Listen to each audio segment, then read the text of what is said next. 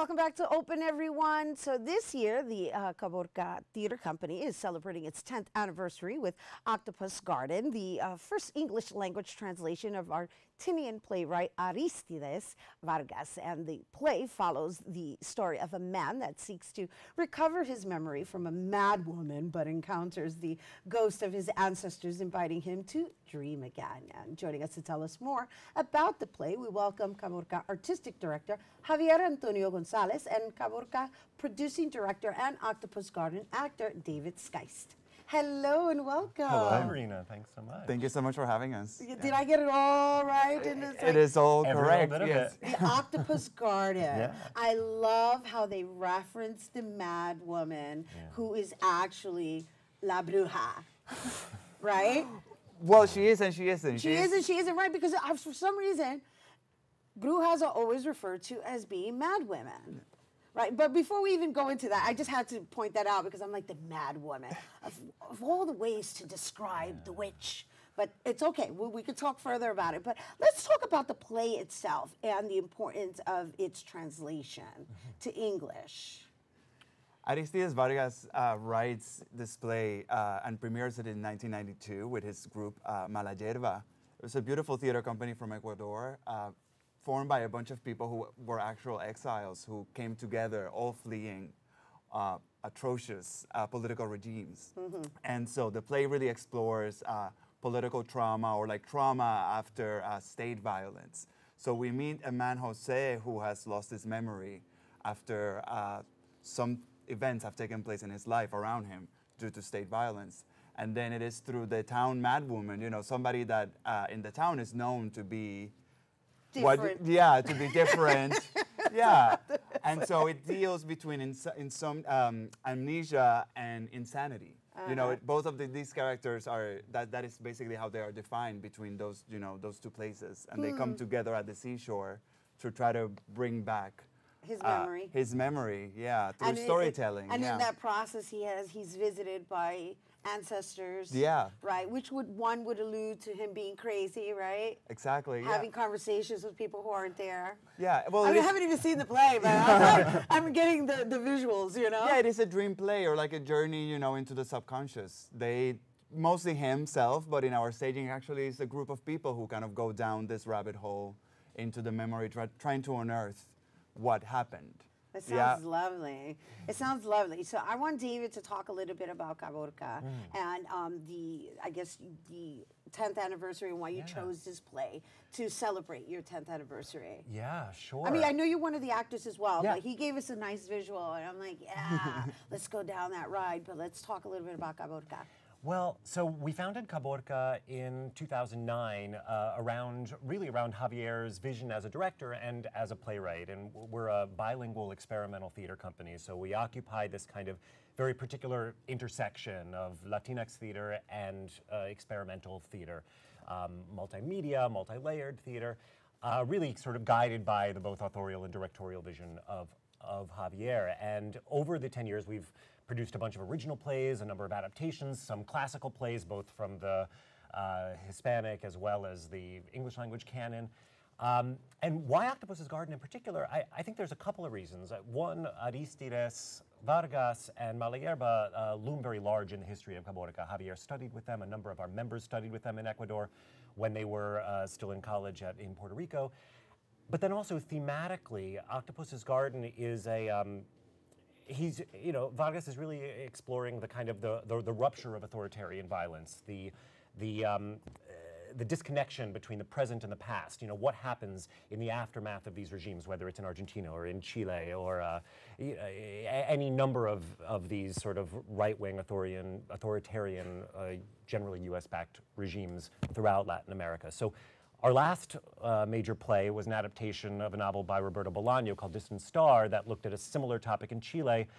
And you know, looking at looking at where we are politically right now, the rise of authoritarianism globally and the rise of seemingly authoritarianism here, um, this kind of history of that sort of violence throughout the continent feels like one of the most important things that this intersectional Latinx experimental theater company could be looking at. No, it's lovely and well put, right? Because it's relatable, unfortunately, to what we're going on what's going on here in the United States. Who would have thought, right? Uh, you know, I do want to just acknowledge you for honoring your peers. That's a lovely gesture. For honoring my peers. Yeah. Oh. Yeah. yeah, that's a lovely gesture. It really is, right? Because here's the other thing. Um, what you guys are doing is is more of what I would consider being an urban Latina, more of South American, right? And so, but we're all Latinos, and so if we don't really support each other and learn about each other, then how do we come together? And so our history matters. And so it's important to share these stories in these artistic ways, but yet know that our stories are documented.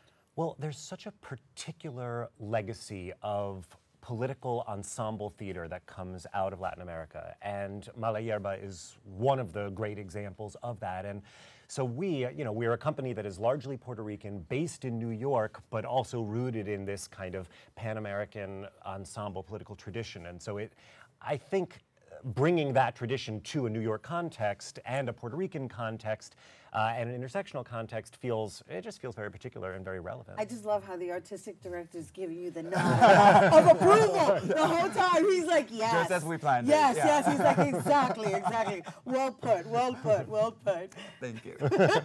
no, and it's also, you know, the, the, thank you for saying that because the, it speaks to the act of translation. No, we have been wanting to uh, bring, we have wanted to bring Aristides' work to the States for a while, but it's not until there's actually a tangible translation, in this case, a beautiful, basically a poem by Aurora Lauzardo, who, I mean, she just really was able to recontextualize the play, not change its content, but really just change its language and and it, it's really the guiding force here is also her poetry.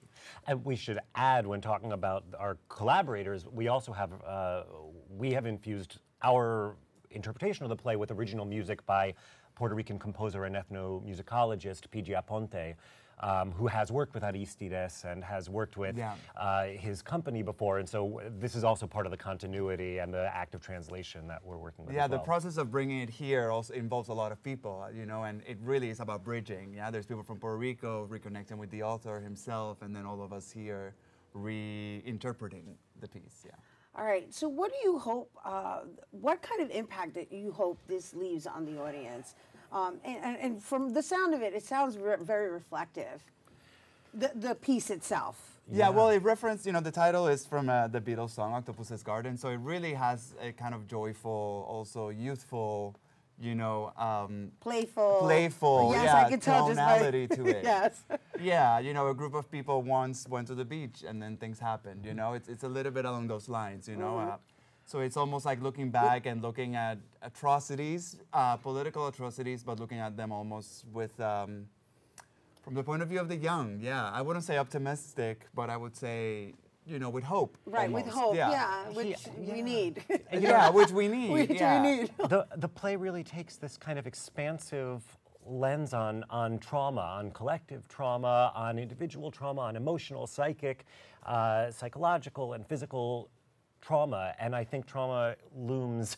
Yeah, it, it, it, it surrounds us right now in in the present day world. It surrounds us virtually on social media. It surrounds us in the news. It surrounds us in our own daily lives. And and so taking a kind of internationalist look at you know what is what is trauma what are the ramifications what are the shadows of trauma and how do we you know how do we take a kind of poetic way through that right to heal healing? to Yes, heal exactly. together and, uh, and that goes for the audience as well. Absolutely. and i got it. I got the whole thing. And i, I want to thank you guys for coming up here and, and sharing it with our audience um, with our viewers. And so uh, are there any last words you would like to share Well, we will be at Target Margin Mm-hmm. uh, starting from July 12th next week, July 12th to July 21st. Yes. Yeah. And we also, actually, we're also having a symposium at the Loisaida Center on the uh, the Monday. So that's what the July 15th. July 15th. We're having a symposium with Aristides Vargas, with uh, Charo, his wife, who's his lead actress, with uh, Rosa Luisa Marquez, who's a Puerto Rican director who's interpreted his work, and with Javier, and with uh, Aurora, the translator. That'll be at the Loisaida Center. So